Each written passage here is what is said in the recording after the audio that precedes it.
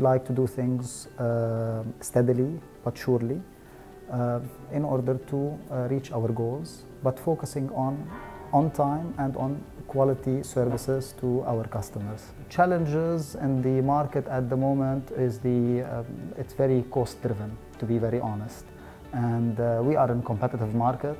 We have to find uh, creative ways to drive costs down without affecting the quality, and that's key.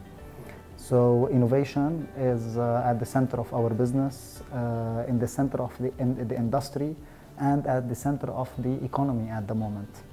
If you cannot innovate, you will be uh, obsolete.